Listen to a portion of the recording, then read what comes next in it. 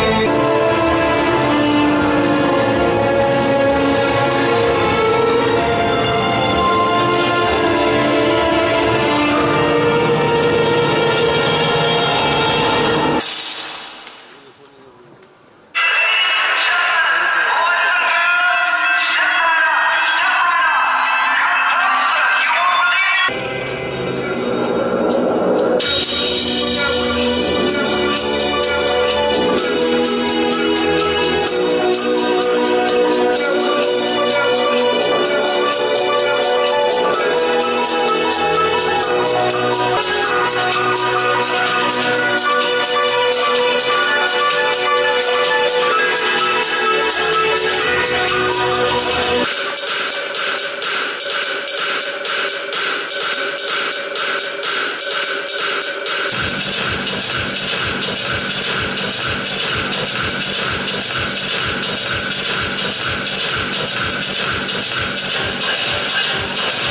you.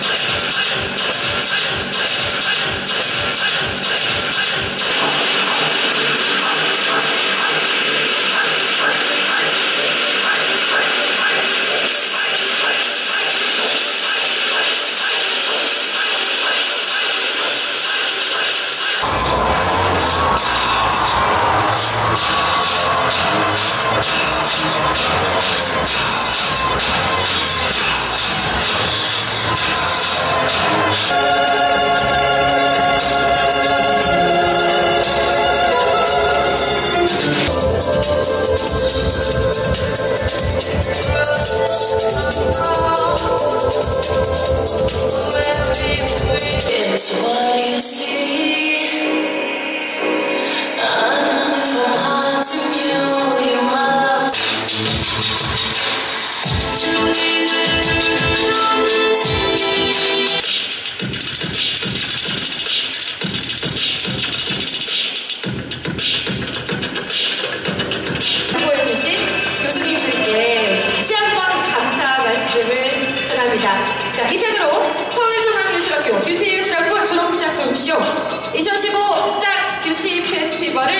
마치겠습니다.